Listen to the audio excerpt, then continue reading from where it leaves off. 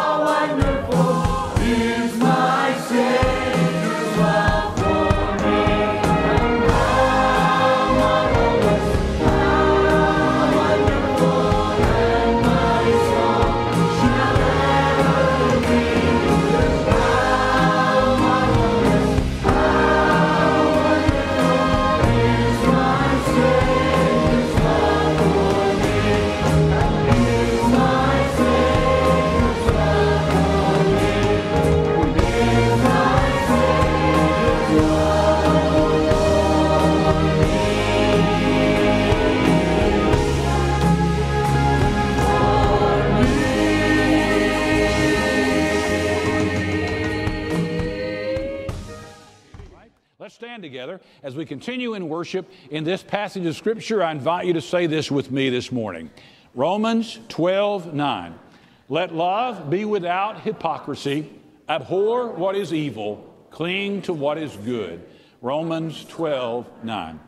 Now, before we sing again, we're going to take just a moment, give you the opportunity to speak to those that you've not yet spoken to. And while you're visiting, children, I invite y'all to join me down front. Just come and have a seat right down here. And we're going to give a preview to the sermon here in just a minute. Y'all welcome each other. You can be seated. For three weeks, I've been preaching a series of sermons under the general theme of family matters. We talked about marriage on that first Sunday. Last week, we talked about that parent child dynamic and that fundamental building block of our communities and of our nations that God has put together. But today, I want to talk about leaving a legacy. A legacy. A legacy is what we remember about somebody. And I want to tell you about somebody that was in my life that I remember well. In fact, he was the person who gave me this. Now, you know what this is, right? It's a cane. Who usually uses a cane?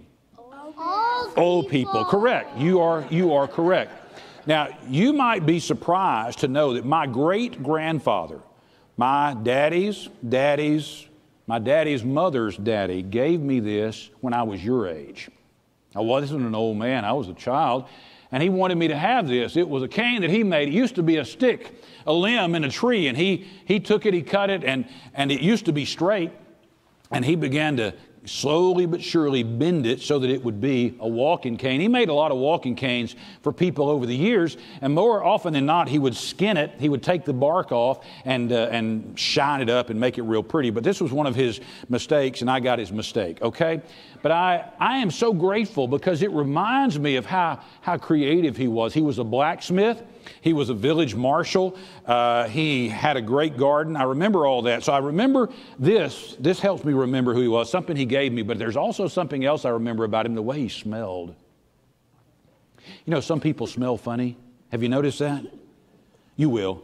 And some uh, old people, old people smell funny. And the older they get, the funnier they smell. My great grandfather smelled funny. It was a combination. It wasn't his cologne, it was a combination of smells. One, he smelled like the smokehouse where he smoked bacon and sausage and hams, and he just always smelled kind of smoky, which wasn't a bad smell. It, it kind of made me hungry every time I got around him. But there was mixed with that the smell of sweat because he took a bath one day a week, whether he needed to or not, on Saturday before he went to church on Sunday. And so it was always this kind of weird combination of sweat and smoke. Wasn't all that good. But I can close my eyes and smell him to this very minute, okay? Then, number three, I remember something that he always did. Every time we'd see him and we were beheaded to his house, he'd say, Come on home with me and we'll cut a watermelon. Now, I was your age, and I thought, That's great. It is November, and you can't even hardly find a watermelon in the store, and he's going to cut us a watermelon. We'd get there, and there never was a watermelon. But he promised us one every time. And I, I guess I realized he was a liar sooner or later. And, and, and I was okay with that because he was such a, he was such a neat old dude. But I remember him well. Today, I'm going to talk to you. I'm going to talk to your parents. I'm going to talk to your, maybe your grandparents are here. There are some old people here, some young people here. We're all together, and we're going to, we're going to all look at this passage of Scripture and ask God to teach us about leaving a legacy for Him. All right? Thank y'all for being here, for listening well. Y'all can go back to your seat. Brother Tim's going to lead us as we continue to worship with singing this morning.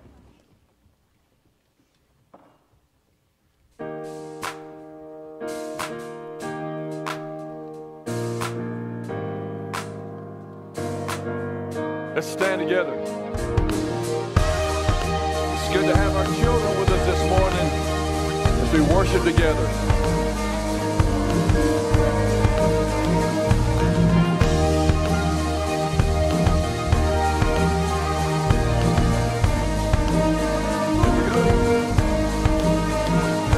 We worship the God who was.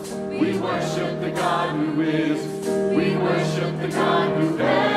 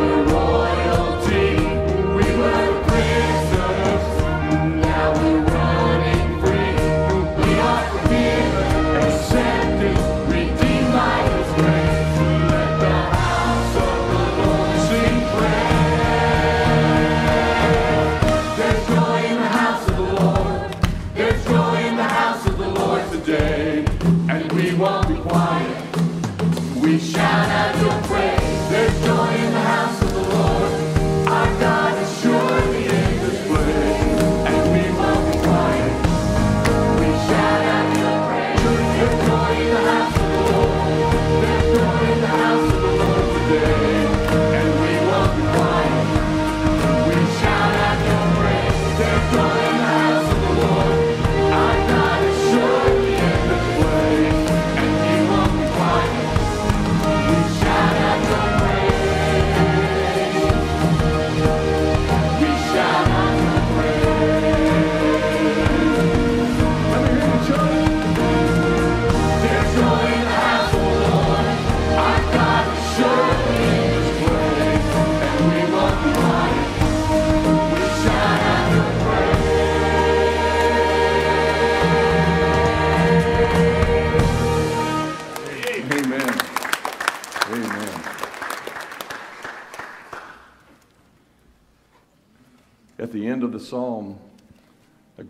23.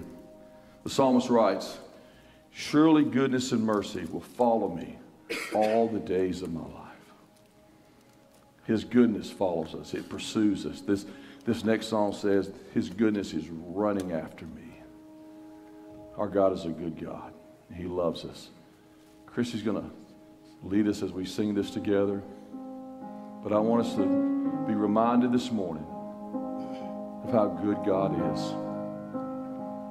Let's sing together. I love you, Lord. Oh, your mercy never fails me. All my days I've been held in your hands. From the moment that I wake up until I lay my head, I will the goodness of God.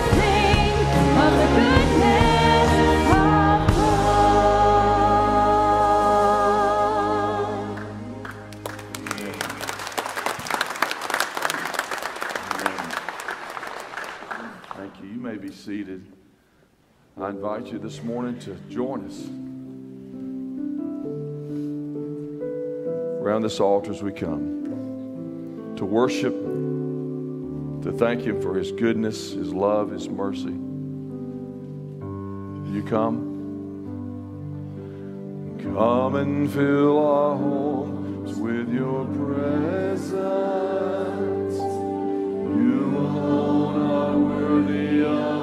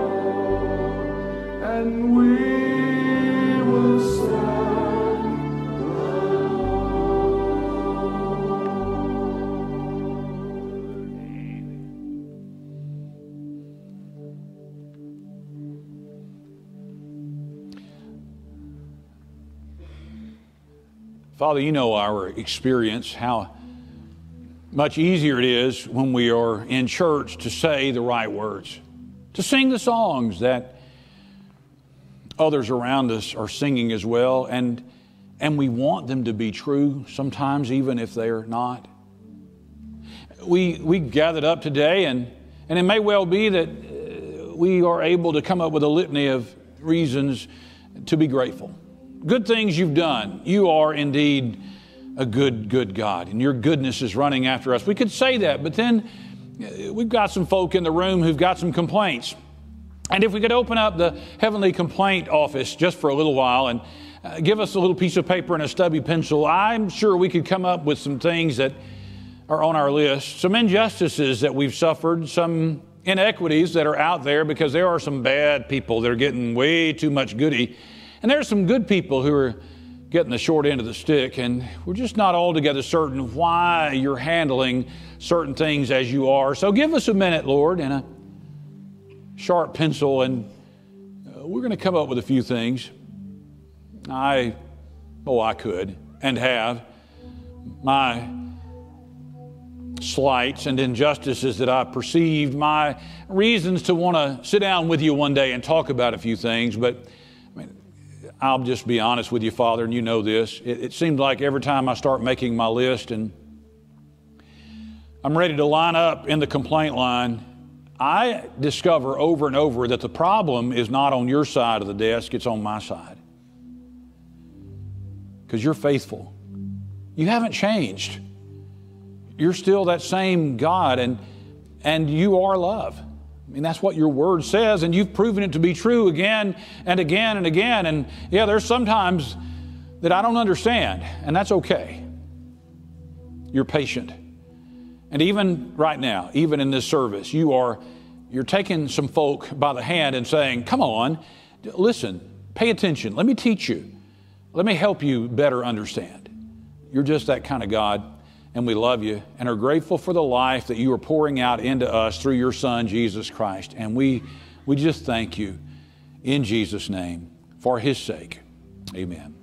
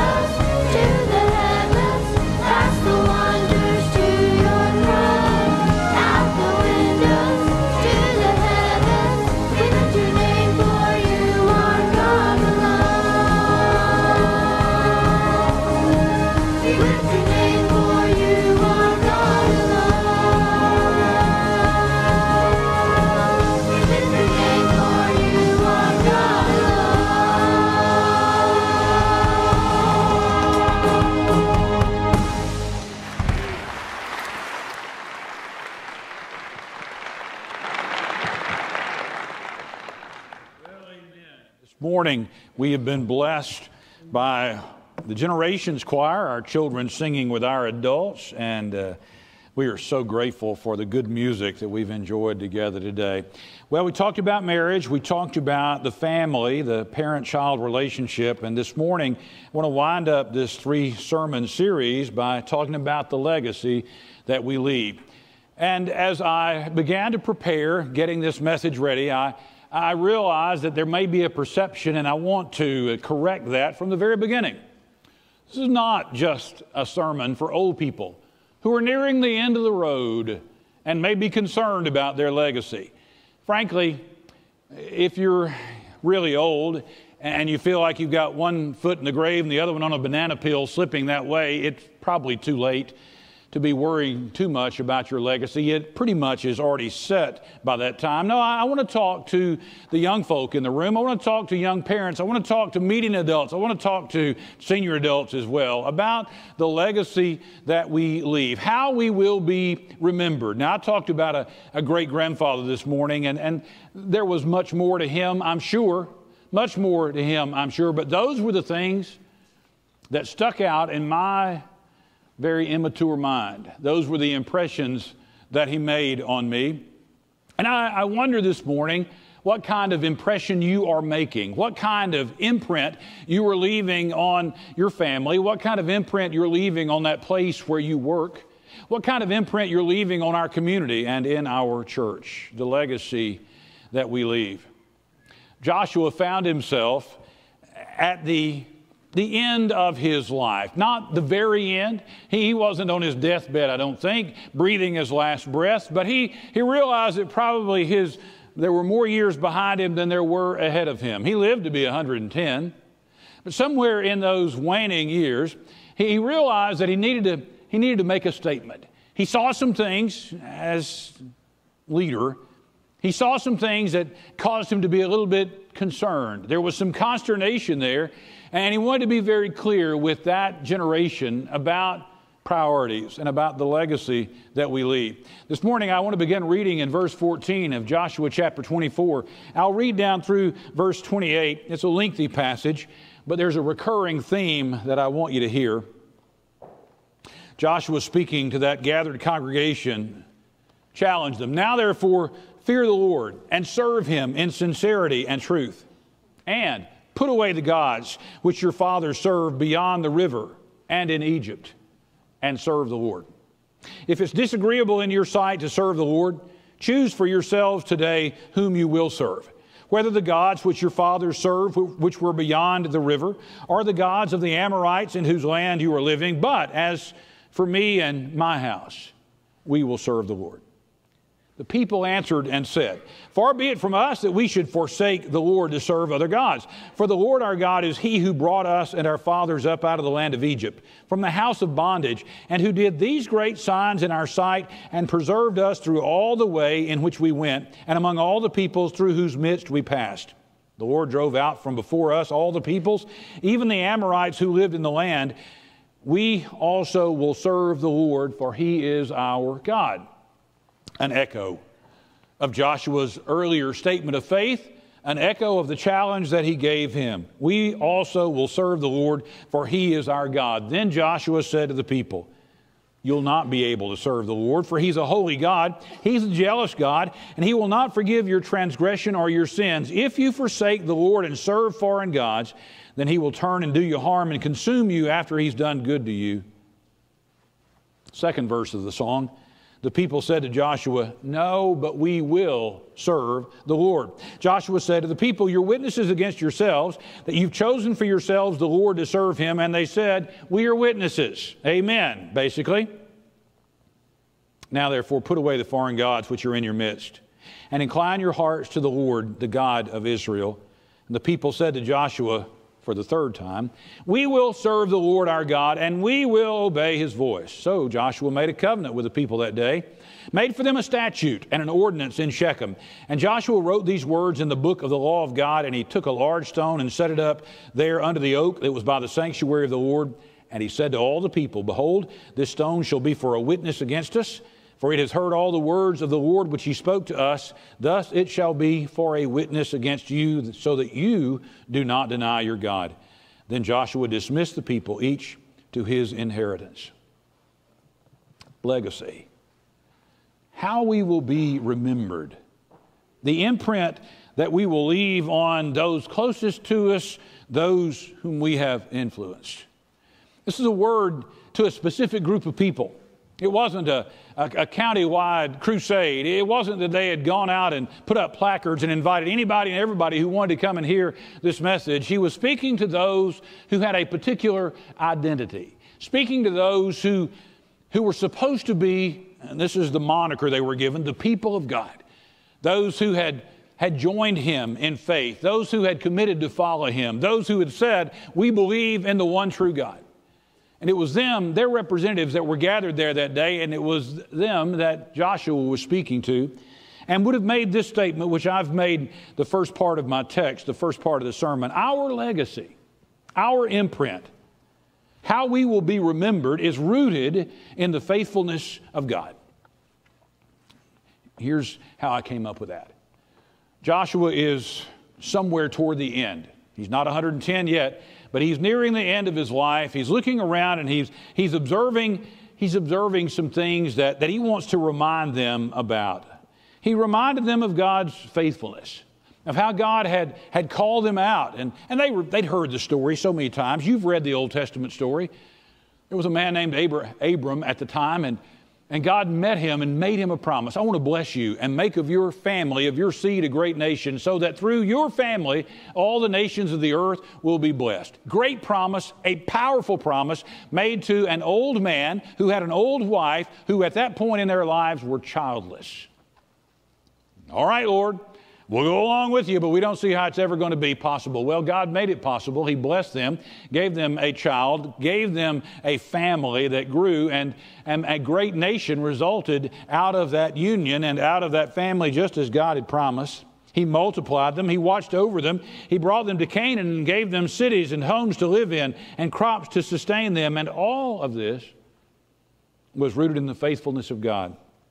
God promised God delivered. God promised, God delivered. God promised, God delivered. There was never a time, never a time in their relationship when God said, I will, and then He didn't. There was never a time when, when God didn't come through on some of His promises. God's faithfulness was not to be questioned. In fact, uh, we back up a little bit in the chapter to verse 11, and Joshua reminded them of this. You crossed the Jordan and came to Jericho, and the citizens of Jericho fought against you. And the Amorite, and the Perizzite, and the Canaanite, and the Hittite, and the Girgashite, the Hivite, and the Jebusite, every ite in the land. Every ite that was out there was ticked off that Israel was in the land. And they came up against them, and God was with them. Thus I gave them into your hand, Joshua wrote. Then I sent the hornet before you, and it drove out the two kings of the Amorites from before you, but not by your sword or your bow. I gave you a land on which you'd not labored, and cities which you had not built, and you've lived in them. You're eating of vineyards and olive groves which you didn't plant. Now, now, therefore, fear the Lord and serve him in sincerity and truth. Serve the Lord because God has been faithful. Serve the Lord because God has done everything He promised you that He would do. Serve the Lord because God has been with you and God is with you. Serve the Lord because God has a plan that is better than any plan that you could begin to come up with. That was the Old Testament reality that Joshua reminded them of that day. And so here we sit as New Testament believers with a New Testament promise as well. Paul reminded us of it in part in Ephesians chapter 2, beginning in verse 8, when he said, For by grace you've been saved through faith.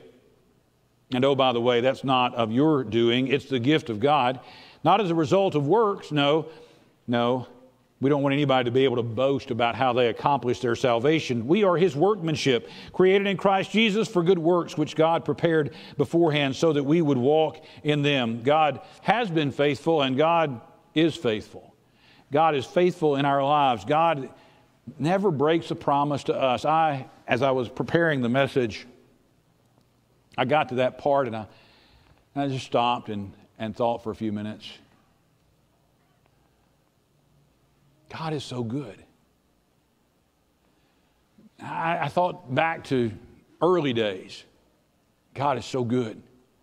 I thought back to experiences in my in my growing up years and the people that God brought into my life, and I had to say, God is so good. I, I thought back to God's call in my life at the age of 14 and, and how God made a way for me to begin to be able to, to use that call, to exercise that call at 15 and 16 and 17. I, I, I, thought about all those things that have happened in my life and how all the way through God has been faithful. God is so good. And some of you are sitting there looking at me and saying, mm-hmm, that's the way it works in preacher world, isn't it?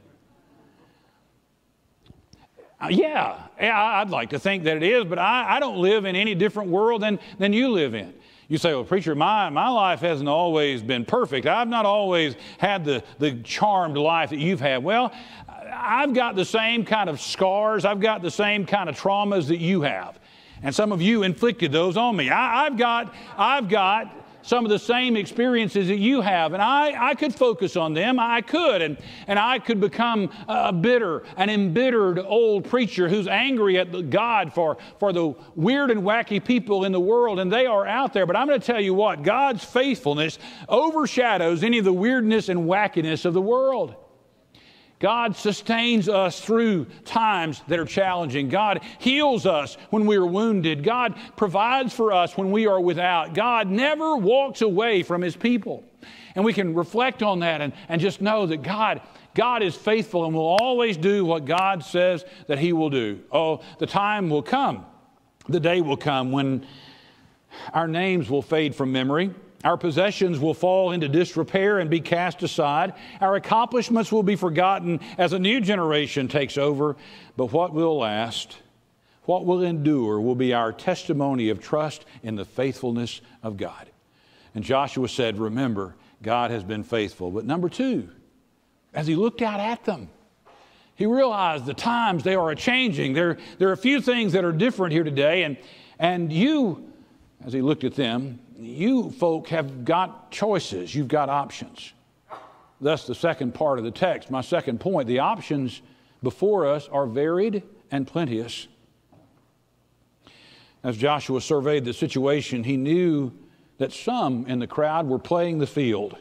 They wouldn't have put it like that, but that's exactly what they're doing because we really are having a love affair with God. We're having a love affair with God through His Son, Jesus Christ. We, we fall in love with Him again each and every day as He pours out His love on us. And when we are tempted to play the field, we are we're being unfaithful. And that's what Joshua said. Now therefore fear the Lord and serve him in sincerity and truth, and put away the gods, little g gods, which your fathers served beyond the river. Beyond the Jordan over there, when we were wandering around waiting to take the land. And, and some of the gods that you're worshiping, you've even held on to from our time in Egypt when we were slaves. And now there are those gods of this land, the gods of the Amorites in whose land you were living. You've got all kinds of choices. And was it that they were dissatisfied with God? Was it that God had failed? No, not in the least. He was a constant. And they would never have said, We don't believe in God. We reject God. Now, they, they would have announced their fidelity, their faithfulness to God. But when they began to live in that part of the world, they heard about other opportunities. They were an agricultural society and very dependent on the land for their living. Their crops needed to succeed for them to eat, for them to be able to have money to, to buy anything else, for them to be able to be a part of the economy. Their, their herds needed to increase, their families needed to increase. And so they heard about the little church down the road in the next community, and they were having a special service, the Blessing of the Crops Sunday. And they were invited to come and be a part of that because it had been a little dry, and the threat of the threat of another bad year was on the horizon, perhaps. And so they certainly wanted to have a good year. So they went down to that little neighboring church, and sure enough, it was the blessing of the crop Sunday. And they sang a few songs that they'd never sung before and prayed a few prayers that they'd never heard before. And they got a little carried away a time or two in the worship service. And the preacher had some incantations about the crops that they'd never been a part of before. But you know, you got to cover all your bases, and they needed a good crop. Not much later, they heard about another church in the other direction that was having a blessing of the herds Sunday. Even invited you to bring some of your choice heifers to church with you. the preacher was going to be laying hands on the heifers and trying to ensure their fruitfulness in the coming year. Well, I mean, if you need milk to drink and meat to eat and, and your, your livelihood depends on the fruitfulness of your herds, and let's go for it. So they go down there for the blessing of the herds and got all these animals that are bleeding and riding, you know, running around during church, worse than some of our kids sometimes. And, and they were trying to keep them under control, and they were singing some really interesting songs and the prayers they'd never heard before. And, and some people were getting really happy in whomever the God was and dancing around and carrying on, and invoking the name of their God to bless their herds so that they would reproduce and have more animals.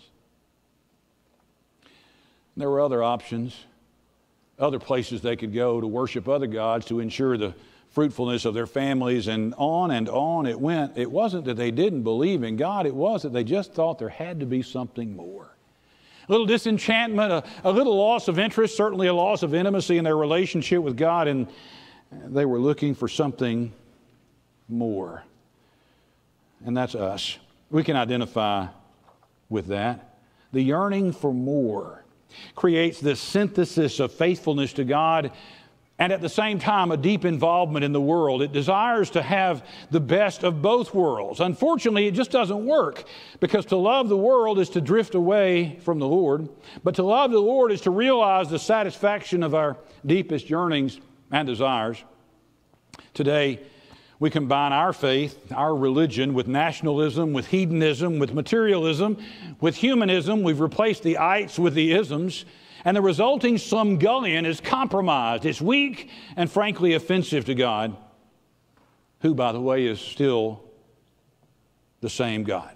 Our Creator, our Redeemer, our Sustainer, present in our daily lives, not absent, not out of touch, not irrelevant, but very much aware of all that is going on. And He's guiding history toward its consummation. I assure you again that the world and its history is not spinning wildly out of control headed toward, toward some chaotic crash that nobody has ever anticipated. Our God is still God, sovereign God. And, and things are moving. We may not understand it, and I don't. We may not be able to, to figure it all out and to identify all the players in our end times prophecy, but I assure you, God knows. And He's still guiding us. And you and I here today are a part of what God's up to now. Now. And, and so we We've got options. And some of you are exercising those options. You've got God and, and you're busy. Your lives are full with God and, covering all your bases. We want to be sure we, we have a good time. We want to be sure that we have explored all that, that the world has to offer. We want to be sure that, that we've enjoyed the fullness of life and not missed out on anything. God and Brings us to the third point, the conclusion. Those choices every single day. The choices that we make are collectively creating the legacy that we will at some point leave behind. Joshua had laid out the options. The children of Israel could serve the other gods or serve the one true God. Again, if it's disagreeable, he said, in your sight to serve the Lord, choose for yourselves today whom you will serve whether those gods, the ones which your fathers served, which were beyond the river, or the gods of the Amorites in whose land you are living. Then a pause, perhaps a, a sweeping glance at some of his, and then this statement But as for me and my house, we will serve the Lord. He had influence, and he recognized that. He had the ability to lead, and he recognized that. And he looked out at that, that group of people that were his friends. And he'd been through so much with them. And he said, You, all of you, as their eyes met, you, you've got to decide uh, which direction you're going to go and, and who you're going to be faithful to and how you're going to invest your life. And the only family I can speak for is, is mine. And as for me and mine, we will serve the Lord. And, and maybe that was a grandiose statement because in reality, He couldn't guarantee his wife or his children or their children's faith. He couldn't really know what they were going to do. He could lead them and he could teach them, which was the best thing that he can do. But at the end of the day, the only one that you can really know about, the only one that you can really have complete control over is you. And you can say this morning, if you will, not to me, but to him. I don't know about everybody else, Clint. I don't know about some other people that I hang with. I don't know about some other people that I work with. I, I, can't speak for some of my friends, and I don't really know what their priorities are, and they're going to have to make their choices. But as for me, and let's just stop right there, but as for me, I'm going to serve the Lord. As for me, I'm going to serve the Lord. Now remember, after Joshua made that statement three different times, this whole congregation got together. And I don't know if they had the tune that we have. Let's, let's pretend that they did. Three different times, the tune meister stepped up and they all sang together, As for me and my house, we will serve the Lord. And Joshua kind of tamped them down. Now, wait a minute. You do understand what that means. You mean it means that God wants you to trust Him and walk with Him and follow Him. We got it. Joshua, as for me and my house, we will serve the Lord. One more time now. If you don't, if you say you are and you don't, it's ugly because you find yourself caught up in things that pull you away from God, that tear down your life, that compromise your witness. We got it, Joshua. As for me and my house, we will serve the Lord. And then he did a weird thing. We don't get it, but it was more of a cultural thing. He took a rock, he had him a, a stone out there, and he sets up this rock right there in the middle of him. He said, Okay, folks, the stone heard your words. This stone is our witness. Whatever. I mean, whatever he could use down the road to say, hey, the rock is still there. It heard everything you said. We got it. As for me and my house, we will serve the Lord. Hmm. Choices. The choices that we make are creating our legacy. Choices about our priorities, those things that we will include, bringing in to our homes, bringing into our minds, bringing into our lives, but also those things that we choose to exclude, that we keep out, our choices. About relationships, whether we will intermingle our lives with the world's offerings or whether we will keep ourselves to the Lord. It doesn't mean that we're going to be necessarily weird oddities. It means simply that we're going to choose. As for me and my house, we'll serve the Lord. Our choices about our investments. I'm not talking about your investment accounts that are going to get you through your old age years. I'm talking about the things that we pour ourselves into. Are they those things that scratch your itches? Are they those things that give you what you want? Or are they those things that allow God to do what God wants to do in your life?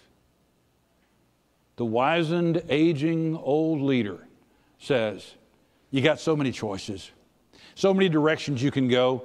Even today, so many alliances that you can create and allegiances that you can give yourself to. All I can say is that as for me and mine, we're going to serve the Lord. We choose. Heavenly Father, we are, we are a part of our culture. We are one little piece of our world. And you've put us here, and you have been faithful. You have blessed us, God, again and again and again. You found us when we were lost and saved us, and you gave us a new name. We're your children. We're called Christian. And Father, you've been there all the way through, and, and you will be there all the way through. And Father, we, we live in a world that needs to know who you are, and, and we want to be a good witness, a clear witness, a faithful witness. And I pray that we, like Joshua, could stand collectively and individually and say with confidence, As for me and mine, Father, we're going to serve you. I pray that nothing will get in the way, nothing will rob us of that opportunity, but that we will be faithful as you have been faithful to us. In Christ we pray. Amen.